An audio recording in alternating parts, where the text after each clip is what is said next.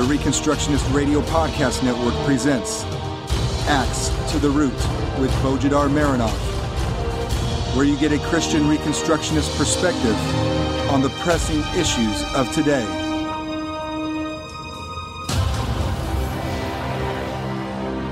Welcome to episode 72 of Axe to the Root podcast, part of the War Room Productions. I'm Bo Marinov, and for the next 30 minutes, we will see how giving wrong solutions to problems can get us nowhere, and even worse, will get us deeper into the same problem we're trying to resolve. As Christian Reconstructionists, we're supposed to be problem solvers. After all, we're the ones who believe that every problem comes from the people's deviation from the Word of God.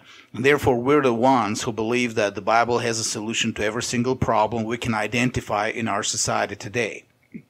And that solution is not simply the vague, outworldly solution of the final coming of Christ, although all problems will eventually have their solutions there but a specific concrete solution that can be worked out and should be worked out and eventually will be worked out in history before the final coming. it can, should, and will be worked out by the church under the guidance of the Holy Spirit. History is the battleground of the gospel, and it is the victory ground of the gospel, and the victory of the gospel in history will be manifested in the fact that all problems will find their solutions in history, in the gospel. Or to put this statement in biblical terms, all of Christ's enemies will be made his footstool before he returns. Problem solvers we should be, that one should be obvious, but before we can be problem solvers, we need to learn to understand the problems and to understand what causes them. In his book Revolt Against Maturity, in the chapter on regeneration, R.J. Rushdoony points to the several fundamental facts about problems and problem solving, and one of the facts is that uh, different worldview systems will analyze problems in different ways and will see different roots for the problems, and thus will have different solutions for them.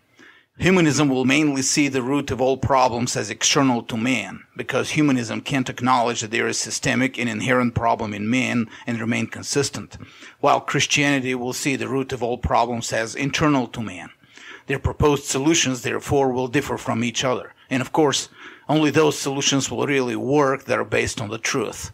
An analysis of a problem that is not based on the truth of the Word of God will uh, give solutions that won't work. Therefore, when we as Christians speak of solving problems, we need to first make sure that we're analyzing those problems based on the revelation of the Word of God and its application to history, not based on humanistic presuppositions and ethical and intellectual standards. Unfortunately, in this, we as Christians have pretty bad history.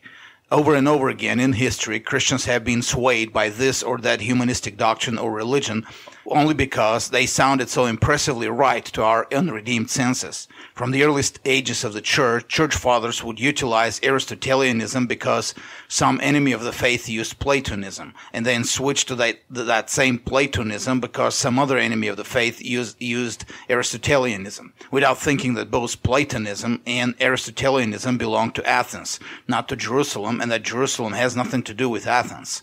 At other times, theologians would resort to rationalism to oppose some irrational and experientialist movements within the church. And then the same theologians would resort to the same experientialism and irrationalism when their own teachings meet the rational challenge without thinking that both rationalism and experientialism come from the presupposition of the autonomous mind of man and therefore are both anti-biblical in recent years, because some enemies of the faith have resorted to feminism, the solution of many churchmen has been to resort to patriarchy, without thinking that both patriarchy and feminism are power religions, not covenantal principles, and therefore both are doctrines of hell. More about patriarchy later. We as Christians have often been gullible to adopt anti-biblical analysis of problems, and as a result, uh, we have often been misled by, by our own gullibility to come to anti-biblical solutions to our problems, which often led to defeat. The problem I will be talking about in this episode is sodomy. It has grown to be perceived as one of the main problems of the American culture today by conservative Christians. Just about 20 years ago, it was not considered such a gigantic problem. Uh, perhaps one of the important problems facing our society, but certainly not a problem of an utmost importance. Today, it takes more preaching time and attention than the issue of abortion. Now, to make it clear from the beginning, I don't believe that sodomy is such a gigantic problem in our culture. Even though its acceptance as normal has grown among non-sodomites, this has not led to an increase in the number of those who practice sodomy. The so-called gay bars have always existed in the United States, and a number of them are quote unquote historic, dating back to 1933 or some even before the prohibition. There isn't much of a difference. In fact, if there's any dynamics, it seems like the sodomite community is losing both in terms of numbers and in terms of economic power. For the last one decade, a number of sodomite publications, including electronic publications, went bankrupt, the last major one being the Frontiers magazine in Los Angeles. Some historic sodomite bars shut down over the same period of time. Houston's oldest gay bar closed for good in November 2009 all the attempts by the sodomite community to salvage it failed. Uh, there just weren't enough people capable and willing to donate. All that is left of it is a few artifacts in a small local museum of sodomite history.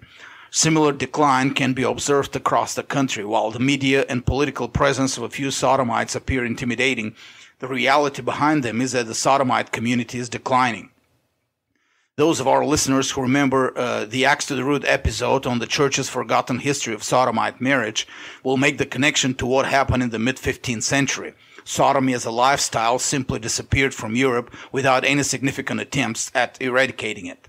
By its very nature, it can never last longer than a generation or two. Of course, declining or not, sodomy is a revolting sin, as Romans chapter 1 shows, and it is an indicator of a very perverse heart. On this one, there should be no argument among Reformed Christians. Where the argument lies, however, is what causes people to fall into that specific type of sin, what triggers it. It is clear that sodomy is not just a natural sin, like, for example, fornication or adultery. I use natural in a conditional sense. Even in their fallen state, all things being equal, boys naturally lust after women, not after men. Such lust is spontaneous, often uh, unconscious, God doesn't make mistakes. He doesn't put female hormones in male bodies. It takes some special trigger for the heart and the mind of a man to be so twisted as to lust sexually after other men. We all have a sinful nature. We're born with it. It makes us vulnerable to all kinds of sins, but the specific sins we commit are imparted into us by our cultural upbringing. And when it comes to something so unnatural as sodomy, there have to be some strong cultural triggers to make the mind of a man switch from the natural lust after women to the unnatural lust after other men. The question now is, what are the triggers in the culture around us that make young hearts and minds become so perverted as to abandon the natural use of their bodies? In the last several decades, a movement has appeared within the conservative, reformed, and evangelical segment of the population in the United States, which declares that the reason for the rise of sodomy, if there is such a rise in the first place, I would add, is the rise of what they call egalitarianism. The dictionary definition of egalitarianism, of course, is a social and political philosophy asserting the judicial equality of all men, women included. I personally can't see why egalitarianism would be a bad thing. The meaning this group uses for egalitarianism a bit different, however, and is very particular to them. No one else uses it in the same way. Egalitarianism for them is an anthropological or religious doctrine which asserts the ontological identity or sameness of men and women. That is, men and women are basically the same, not different in any respect. And the acceptance of this doctrine of sameness has led to the acceptance of sodomy. This is the claim of that movement. Now, I never heard nor seen anyone espouse such doctrine not even the most radical feminists. In fact, the most radical feminists teach exactly the opposite, there is a radical difference between men and women. They use it, of course, to postulate the necessity for granting judicial and institutional power of women over men, but this is not sameness nor egalitarianism in any conceivable sense of these words. Now, I have seen feminists espouse egalitarianism in the regular dictionary sense, as social, judicial, and political equality, or egalitarianism in the sense of equal job opportunities, which I think is fair enough if women can do it. But egalitarianism has no distinction between the sexes that I have never seen preached or proclaimed. Perhaps some isolated mentally ill activist somewhere, but never at a large scale and even such isolated mentally ill activists have appeared only in the last decade or so. I can't see how they can be blamed for sodomy, which has been present in the United States in significant numbers since the beginning of the 20th century at least. However, for the purposes of this discussion, I will assume that there is indeed such form of so-called egalitarianism floating around. The argument of that movement is that this egalitarianism, so-called, relativizes all human relationships and makes them equal to one another. It doesn't matter uh, whether the relationship is between a man and a woman or between a man and man. And thus, sex between a man and a man is lifted up to the level of sex between a man and a woman, and this is the social and moral cause for sodomy. Based on their assessment for the causes of sodomy, this movement has a solution. That solution is a return to what they call biblical patriarchy, which is supposedly the biblical doctrine for the family. Now, it is not, and we will see why in a few minutes. Egalitarianism, as they understand it, relativizes all social relationships. To counter it, the so-called biblical patriarchy seeks to absolutize all social relationships, starting with the family. Men and women must have strictly distinct roles in the society, and these roles must be inculcated throughout the society and maintained by tradition, government legislation, and social practices. Men are supposed to be the rulers of their families and the rulers of the society as well. Women are supposed to remain passive and submissive at all times and never assume leading roles in any field.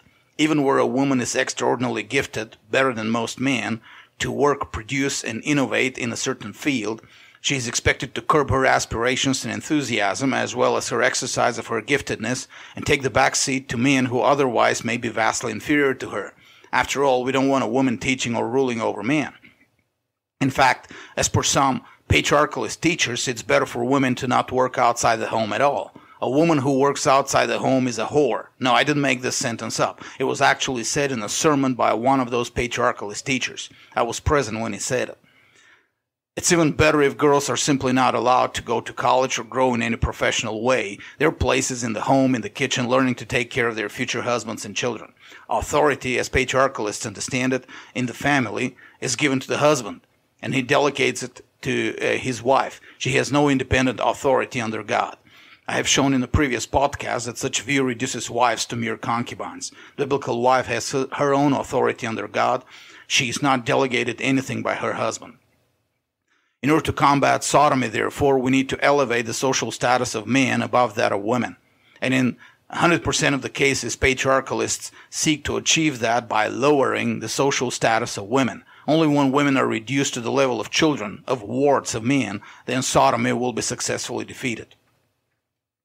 I must interject here that many good and honest Christians have sincerely fallen for this doctrine. But this doesn't make the doctrine any more Christian or biblical biblical patriarchy is just the same oxymoron as is biblical Hinduism or biblical socialism. Many of these good and honest Christians are trying to present it and to make it work as a doctrine which is focused on servant, servanthood. Reality is, however, that servanthood doesn't need institutional power and submission to work. And patriarchy, even in its supposedly biblical version, is a power religion from beginning to end. It's entirely obsessed with structure of, structures of power and submission, and with who submits to whom. To start with, even the very name patriarchy, that is father's rule, is a misnomer. The concept that children are under the institutional power of their parents is common to all Christian persuasions. So there's really no need for any special doctrine to emphasize this. The real focus and the real starting point of patriarchalism is not so much the authority of the father over the children, but the institutional power of the husband over the wife and the submission of the wife to her husband and of all women to all men. That's where the real distinctive of patriarchy lies.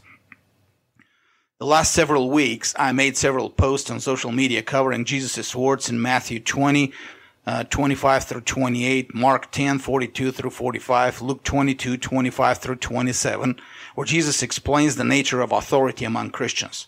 Among the Gentiles, it is those who are in power that claim to be benefactors and have authority over other people. But among you, it will be the other way around. If you want to have authority, you need to serve.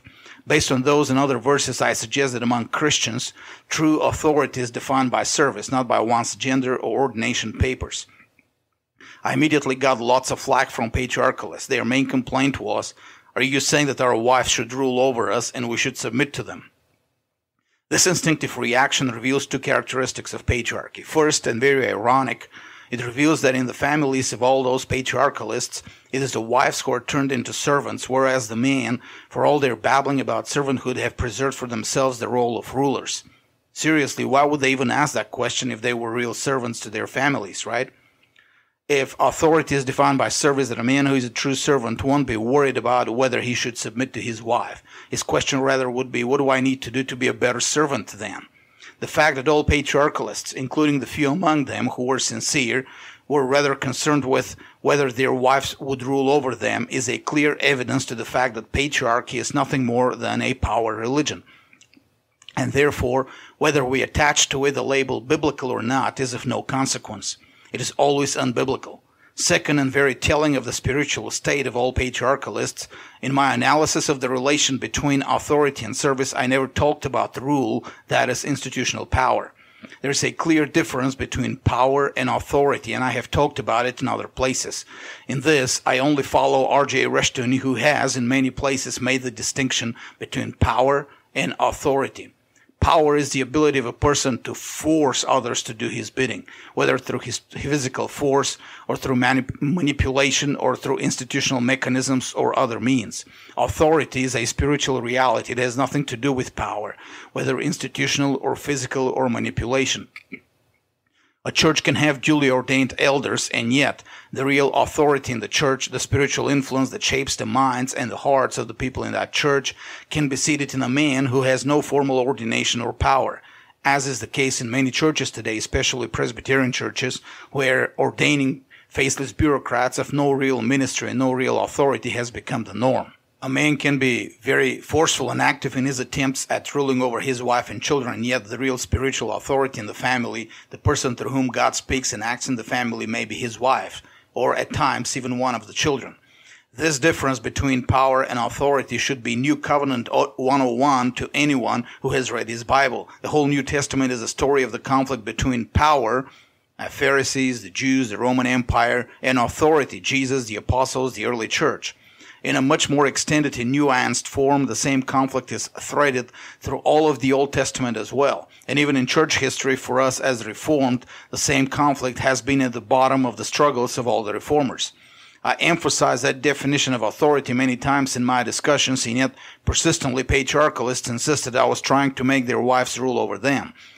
The fact that they would always imagine a power submission relationships where the discussion is clearly about authority as a spiritual reality is another clear indication that no matter what pious epithet we attach to patriarchy, biblical, Christian, etc., it remains a power religion from beginning to end and therefore is in its very essence always pagan. Yet, even if a number of good and sincere Christians have adopted it as their ideology and practice, and as a pagan ideology, it will always lead to disastrous results. These results may be postponed a bit if patriarchy is mixed with some biblical principles, but eventually they will appear. Back to the main issue of this episode. In the view of patriarchalists, what leads to sodomy in the society is egalitarianism, or what they believe is egalitarianism, not the regular dictionary meaning of the word. In the specific context of our times, a flavor of conspiracy theory is thrown in the mix that egalitarianism was the product of the conspiratorial activities of the Frankfurt School and its so-called cultural Marxism. I have talked in a previous episode about that boogeyman of cultural Marxism, and I have shown uh, why cultural Marxism is an oxymoron and a convenient escape for many churchmen from the necessity of doing a serious covenantal analysis of the failures of the church. Conspiracy theory is always more attractive than doing boring biblical analysis, and the solution to sodomy is, according to them, is patriarchy. Elevate men's social status, make women submit to men, support this power submission structure through legislation, propaganda, or sermons, and social practices, and you will have a defense against sodomy. Simple, huh? There's a serious problem with this analysis, however, and it is this. First, there is no biblical confirmation for it, and second, there is no historical confirmation for it. There has never been a single example of sodomy originating in an egalitarian society. And in fact, if anything, and hold on to your chairs now, we have abundant historical examples that same patriarchy, which they present us as the solution, is in fact the mother of sodomy. Yes, rampant sodomy in the society always follows patriarchy when patriarchy is the predominant social model. That is, patriarchy always begets sodomy almost without exceptions. We also have logical reasons to go together with the historical data, namely to conclude that patriarchy inevitably begets sodomy. And we also have biblical and historical reasons to believe that the only solution to sodomy is exactly egalitarianism, namely the doctrine that establishes the judicial, social, and political equality between the sexes. That is, reality is exactly the opposite to what the patriarchalist movement believes. The cause for sodomy is patriarchy, and the solution of the, to the problem of sodomy is rejecting patriarchy and a return to egalitarianism, which is the biblical social doctrine revealed in the law of God. So let's get to the details. The first and most obvious evidence that patriarchy is related to sodomy is the biblical record. Romans 1:27 is the only text in the Bible which speaks of the internal motivation for sodomy. It certainly doesn't speak of any equality uh, between men and women. To the contrary, it says the following: Man abandoned the natural use of the female. The word for abandon is literally sent away. The same word is used multiple times for forgiving sins in the sense of ignoring sins. It certainly doesn't indicate that the pagans of Paul's time elevated women to the position equal to man. Exactly the opposite. The verb here shows that men ignored the women, sent away their natural use, and that led to the spread of sodomy in the classical world. Such attitude to women was common to Greece and Rome. Women in Greece and Rome were indeed abandoned by the men in their societies. Women couldn't inherit property, and women had virtually no rights under their fathers or husbands. As Fustel de Coulanges shows in his study, of The Ancient City, in most of the classical cultures, women's social status was no higher than that of today's Saudi Arabia. In the so-called enlightened Athens, married women couldn't leave the home without a male companion from the family. They were expected to remain at home all, to- all the time. Athens was a strictly patriarchal society, and Solon's judicial reforms made sure that the patriarchal characters, a character of the Athenian society was encoded into the laws as well. And yet, judging from Plato's dialogues, sodomy and pederasty were considered a norm. Thebes, another Greek city and capital of Boeotia, was an even more radical example. The ancient myths and the uh, later plays about Thebes by uh, Aeschylus and Sophocles show a society that is strictly stratified, with a strongly subjugated position for women. And Thebes was too sodomite even for the other Greek city-states. You probably remember from a previous episode when I talked uh, about the Theban sacred band of sodomite soldiers. And note that the mythological history of Thebes starts with the sodomite rape of a young boy by a Theban king. In Rome, sodomy was taken for granted and was not even registered as a deviation. The father of the house, the patriarch, had the right to sexually penetrate anything and anyone in his house, including male or female slaves, without incurring any judicial guilt. That right followed from his judicial position as a patriarch. Rolling back to the early days of Israel, all the surrounding nations that practiced sodomy were also marked by strong social stratification and patriarchy. Not only were those societies tolerant of sodomy, but some even practiced it as a ma- matter of religious ceremony.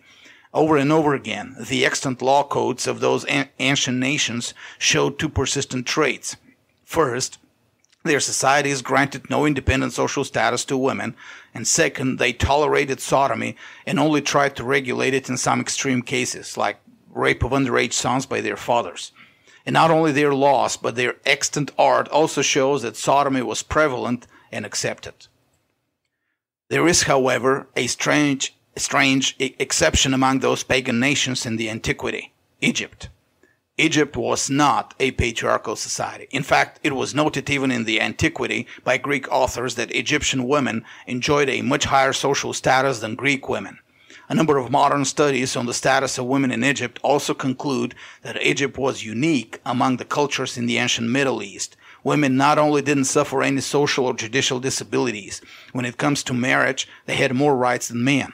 A woman could divorce her husband citing just his failure to provide love and moral support.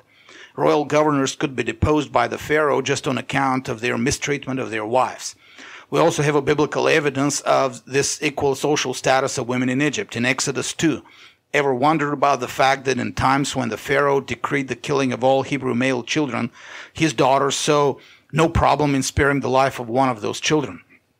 She even sent him away with his mother so that he grew in his own home, safe from the Pharaoh's henchmen. How could that happen? It could happen only because in Egypt, the word of a woman had the same power as the word of a man, and the word of the daughter of the Pharaoh could overpower even the Pharaoh's edicts. The Talmudic rabbis also mentioned the high status of women in the Egyptian society, and even the fact that unlike other cultures, women in Egypt could, could take multiple husbands. And guess what? Egypt was also unique among the nations of the antiquity in that we have no evidence of sodomy being part of their culture. Of the vast number of extant original sources, we have only three or four mentions of anything even close to sodomy, and they're vague enough to be interpreted in many different ways. In one of those stories, King Pepi II of the Sixth Dynasty, the Old Kingdom, is said to have visited one of his generals in the night hours in secret. Even if the language is taken to mean sodomite relationship, which most Egyptologists deny, the fact that even the king had to do it in secret clearly shows the attitude of ancient Egyptians to sodomy. The Talmudic rabbis also agree that male sodomy was not characteristic of Egypt. They attributed it rather to the Canaan, Canaanitic cultures, which were highly patriarchal. These were pagans and their patriarchy was not biblical, right? We now have biblical patriarchy under Christ, right? Well, not really. In another episode of Axe to the Root, I talked about the church's forgotten history of sodomite marriage in the 14th century and the first half of the 15th century. This period of rampant sodomy came after a long period of elevated social status of, for men and diminished social status of women. It was, after all, the age of strong men, knights in shining armor who left their homes, went to fight against the infidels. It was a romantic age of religious orders of monks warriors, who swore loyalty to each other to death, and also that they would remain celibate their whole lives. An age when women were relegated to a lower status because they were unable to take arms and fight, and fighting was the only thing the culture was obsessed with. That age ended in rampant sodomy among the ruling classes and in multiple disasters which decimated the population of Europe, and more important, decimated the ruling class and put an end to feudalism in Europe. During the 15th century, women increasingly took over the devastated European society and ran it, and by the time of Luther, sodomy was gone from most of Europe. We see the same trend in action in Victorian England, another part of Christendom. During the 19th century, England had two separate and parallel cultures. One was the culture of the aristocracy, highly patriarchal and segregated. Schools for the aristocratic elite, Eton, Cambridge, Oxford, remained exclusive for boys until the first half of the 20th century. The English aristocracy was not subject to the English common law, which established the judicial equality of men and women. It was under the royal law, which could be traced back to old pagan laws, mainly Roman and Saxon, and was intensely patriarchal. Women could not inherit estates and titles, and the only reason for them to be able to inherit the throne was political expediency for the reigning dynasty. On the other hand was the common population of England, the middle entrepreneurial class and the industrial workers. These were by necessity egalitarian. The Industrial Revolution demanded labor at rates higher than the market could supply. So all went to work, women and children together with husbands and fathers. Boys and girls mingled freely at an early age, working at factories and mines and offices, and then they mingled freely at union gatherings and in the pubs. Two cultures within the same nation, one strongly patriarchal, the other strongly egalitarian, and which culture do you think was given over to sodomy? That's right, the patriarchal one. By the early 20th century, more than half of all aristocratic boys had at least some experience with sodomy acts, even if most of them didn't go to the end to become full sodomites. Some did, however, and from this era we have names like Lord Byron and John Maynard Keynes, and multiple others. At the time when England's lower and middle classes were producing missionaries and preachers, the aristocracy was digging deeper and deeper into the hole of iniquity. Patriarchy again produced sodomy. Egalitarianism produced stable families, even at times when men and women and children had to work 12 to 14 hours a day in the factories in order to get by. Just read about the early life of David Livingstone to get a glimpse of what it was. Many of these famous British sodomites chose to travel frequently to Muslim lands in order to find partners for their lust and for a good reason, for contrary to our modern perceptions, Islam has historically been quite friendly to sodomy and sodomites. Some of the most expressive pieces of sodomitic literature and poetry uh, have come to us from Persian. Openly sodomite poetry was considered the highest expression of art in Persia, and poems were translated in English for high class connoisseurs in England as early as the 1860s. In the neighboring Afghanistan, pederasty and sodomy are considered national tradition even today. Google the dancing boys of Afghanistan. There is hardly any doubt that Muslim societies are hardcore patriarchal societies. Whatever issues they have, egalitarianism in any meaning of that word is hardly one of them. As I mentioned earlier, it has become a habit for many Christian and conservative talkers to indulge in conspiracy theory and throw the blame for the sexual revolution and the modern dissolution of sexual morality upon the boogeyman of cultural Marxism and the Frankfurt School. There's one problem today. We have, in the 20th century, a nation that self-consciously rejected and opposed the influence of Marxism, including the cultural version and the influence of Hollywood and modern media, South Africa for two generations under the apartheid. The white population was the most church population in the world. Its government was officially Christian and even reformed. It did everything in the name of Jesus Christ. The apartheid was designed and introduced by a Dutch reformed minister who headed the government of the National Party in the 1950s. In addition, the white culture of South Africa was self-consciously patriarchal to the point that women did have to deal with certain social and political disabilities, many of which were encoded in the laws.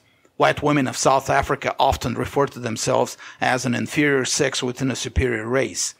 Take this also. South Africa did not have television until 1975, and Hollywood movies were generally banned except those that were deemed clean by the government censorship a thoroughly church population, an officially Christian government, an apologetically patriarchal society, the influence of the Frankfurt School ban, Hollywood movies ban, no television, strong censorship. What could go wrong? But it did go wrong. As early as the 1960s, the South African military realized that a great number of the young people between 16 and 24 years of age conscripted into the military had sodomite inclinations. Since this was deemed unacceptable, military commanders tried to deal with it in a typical military way, through brutality. Young sodomites were beaten or forced to participate in group rape of Angolan or Namibian women. Some commanders simply, simply grouped sodomites together in units in order to avoid further complications. In 1971, the military started the so-called Aversion Project with the purpose to heal young men of their sodomy. Thousands of young men were included in it for their sodomy. The project was based on the Pavlov theory and consisted of series of tortures, usually electrical shocks, designed to create aversion in the patients against sodomite desires. The tortures were so cruel that they left many people crippled for life, physically and psychologically. The worst cases, those deemed hopeless, were assigned to, listen to this, a sex change surgery. Between 1971 and 1989, the South African government paid for more than 900 such surgeries. Given that the white population of South Africa at the time was only about 8 million and the patients were only a small segment of that population, young men between 16 and 24 years of age, we can easily conclude first that no other population group in history has had so many sex change operations per capita. And second, no other population group in history has had such a high rate of sodomy registered among its young males. Just stop and consider. 50 sex change operations a year only for young males between 16 and 24 years of age of a total population the size of Virginia. And these were only the hopeless cases. No matter what you may think of South Africa and its supposedly Christian character, something was terribly wrong. And that terribly wrong thing was its patriarchalism. Coming back to the United States, let's not forget that the modern wave of sodomite social activity came in the wake of the 1950s. It was the children of those parents who revolted against the biblical sexual morality. And when one studies the US culture of the 1950s, one thing becomes very clear. The 1950s were the most patriarchalist decade in the history of the United States. The media of the time were full of articles, studies, and advertisements that employed self-consciously derogatory attitude to women. Some of the advertisements are mind blowing, even those directed at women, showing a husband spanking his wife like a child because she didn't do the shopping the right way, or a wife kneeling like a slave serving her husband. Church sermons didn't fall far behind. Some sermons of the time were deliberately disparaging of women. In his institutes, pages 349 through 352, Rushdoony points out that such attitude to women came from the Enlightenment and affected the churches as well. The original feminist movement was not against biblical ethics, but against this revived pagan ethics of patriarchalism. The church failed to take the right side and took the side of patriarchalism instead. And this is what led to the feminist movement being taken over by the enemies of God. The 1950s were the culmination of this patriarchalism in the society. And as was to be expected from our historical experience, this inevitably led to a rise of sodomy. God is not mocked. You replace biblical ethics with patriarchy, he lets your children turn over to sodomy. And even a cursory look at the sodomite community today shows that it is very far from being egalitarian in any sense of this word. Women are not only not welcome or valued among sodomites, they are actively excluded. And the sodomite so-called families are strongly patriarchal and hierarchical, as is the sodomite community itself. There is no thought of any equality in any sense of that word. If anything, the most consistent patriarchalism today can be found among sodomites. They know what hierarchy is. Of course, this is all historical evidence. But, it's, but is it based on a solid logical analysis? Can we say for sure the relation between patriarchy and sodomy is not simply correlational, but also causal? What is the mechanism by which patriarchy turns perfectly normal boys into future sodomites? What triggers these boys to switch to sexual lust toward other boys instead of their natural lust for women, which needs to be controlled, of course, but at least natural? The answer should be obvious. Any doctrine or social practice or custom that diminishes the social status of women to being inferior to, subservient to, or subjugated under men will inevitably produce a trigger for young boys to engage in sodomy. When men's social status is elevated above that of women, then fellowship with men becomes more desirable than that with women. Their elevated social status creates an aura of loftiness and superiority around their relationships. Men, you know, can talk about things that women are too stupid to understand or too emotional or too pity or whatever else. You know, all the stereotypes. Women are also weak, never direct, always manipulative, and they need supervision from men all the time, even when they go shopping or do chores around the house. In the family, mom is always the one to retreat and concede, even when the kids can clearly see that dad is being cruel or unreasonable, simply stupid. Obviously, being the more powerful person pays off, and women are not worth befriending since they can never project that power, which makes dad get all, uh, what he wants all the time. When boys, boys go to an all boys school or simply hang on in an all boys company, it creates a bond that girls are not supposed to take part in. This leaves the impression that uh, even if there is a future marriage in the life of a young man, it will have to take a second place while his loyalty to his male friends will remain forever. I mean, look, where do we find glory but in being one of the band of brothers? Whereas there is no glory in bragging about being friends with a girl. This attitude is still present to a great extent in the collectivist environment of the public schools in America. A boy who befriends girls is usually mocked by other boys. It is present in many churches in, in, America where men tend to exclude women from any important conversation about the affairs or the future of the church. Patriarchy is a religion of power and submission. Sodomy is also a religion of power and submission. In both, some human beings are relegated to a lower status. There's no philosophical difference between the two. In such a culture where women are denigrated or relegated to a status of permanent submission or patronized as being too weak to take care of themselves or to take on activities and occupations that are reserved for men, boys will grow up with a psychology that relationships with women are low class, where relationships with men are higher class. From this, the step to elevating intimacy with other men to a higher status is very small. In fact, um, Plato's dialogues give us exactly that rationale for sodomy. Sex with women is just for material purposes, for procreation. In a patriarchal society, it's also for status. I mean, you can't be a patriarch like everyone else unless you have a wife and kids.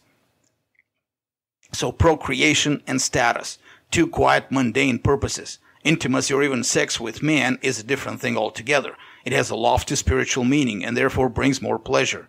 The same mentality is present in many places in Islam. The Sodomite community in the United States has developed that mentality to its logical end. They reject sex with women altogether. As Paul said in Romans 1, sodomy doesn't come from making women equal. It comes from abandoning, pushing aside, ignoring women.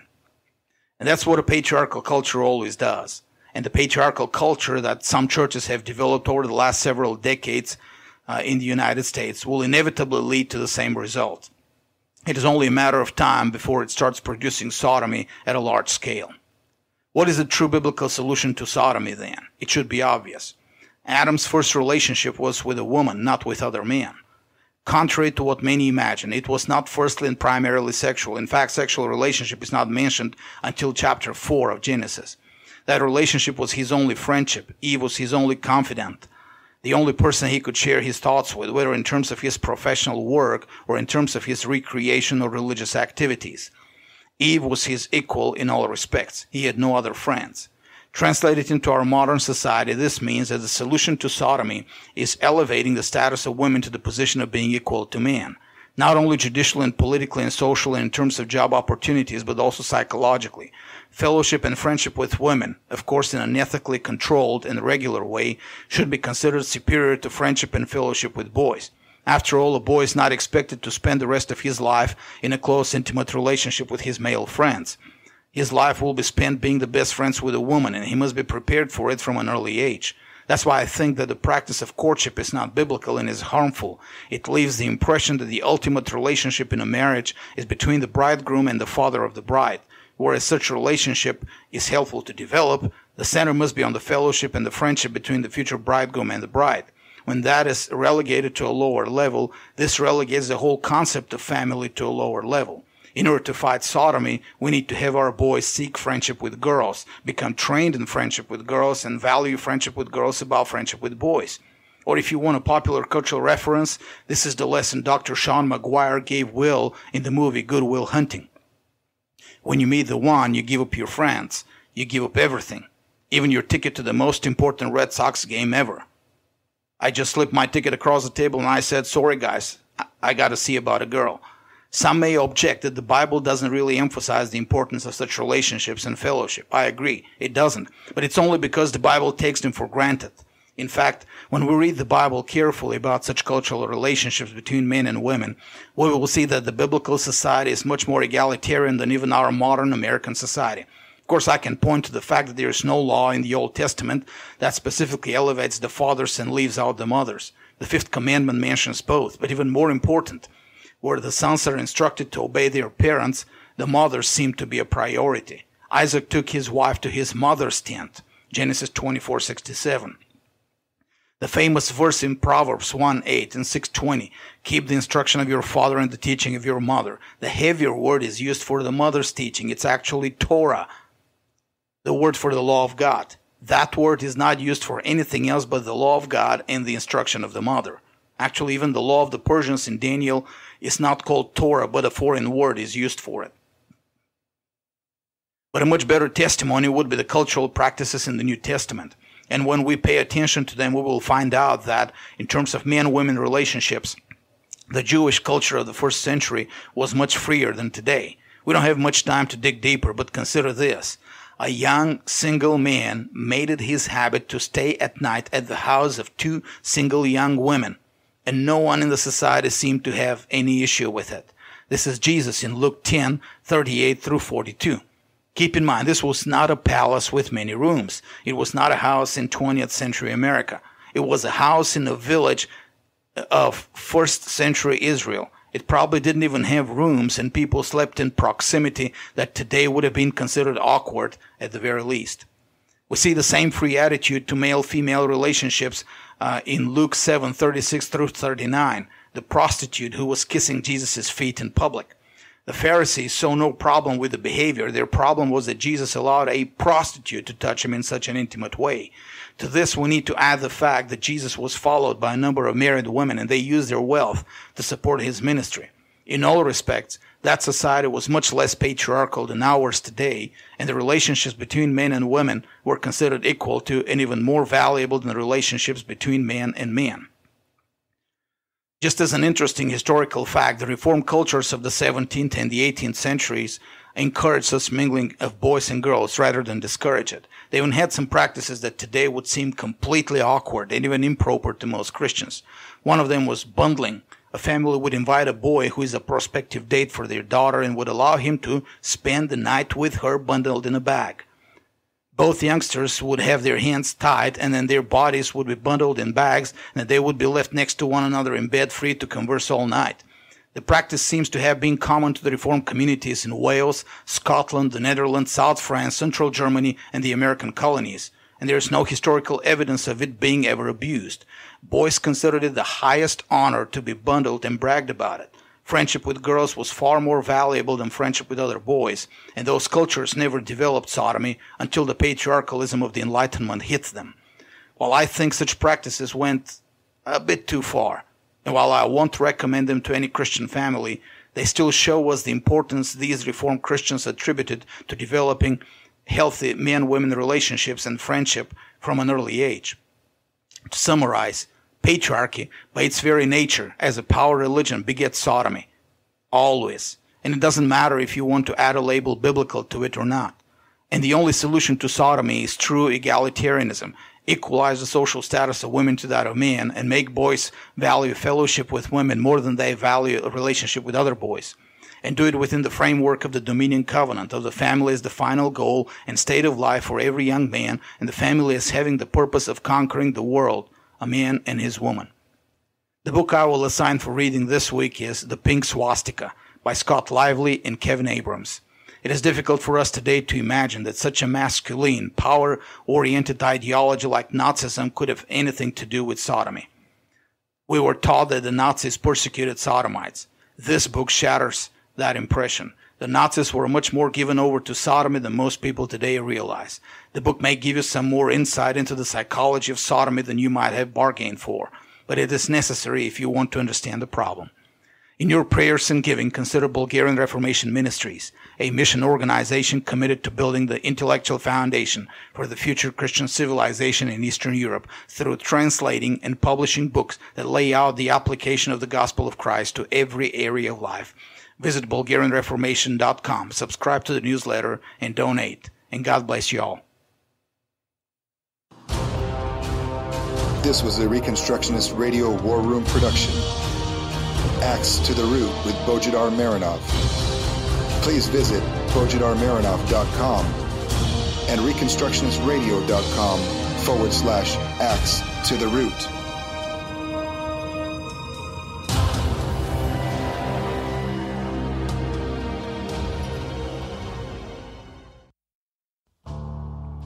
The Reconstructionist Radio Podcast Network brings to you a complete lineup of podcasts where you will hear practical and tactical theology.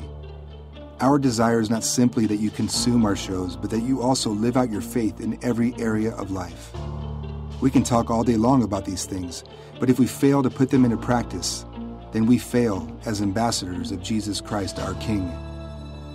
Subscribe now to your favorite Reconstructionist Radio Podcast Network shows, or you can subscribe to the Reconstructionist Radio Master Feed where all of the content we produce, including the audiobooks and audio articles, will pop up as soon as they are available. And don't forget to visit ReconstructionistRadio.com to volunteer as a narrator or to partner with this ministry financially. May the Holy Spirit stir you into action for Christ and His kingdom